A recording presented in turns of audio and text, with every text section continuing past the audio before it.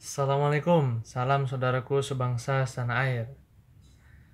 Pernah tidak kalian jumpai orang-orang yang sering curhat yang menceritakan tentang kebaikan-kebaikannya kepada orang lain? Dia kesel sama orang, udah kubuat baik, tapi dia jahatin aku. Sering tidak? Sering dong.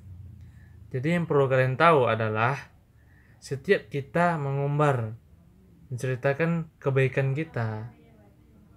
Ya kan?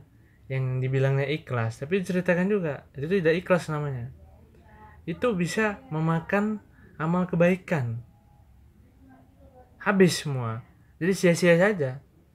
Orang yang perhitungan itu itu di akhirat nanti itu dia seperti orang yang bangkrut. Itu Rasul yang bilang. Jadi hati-hati.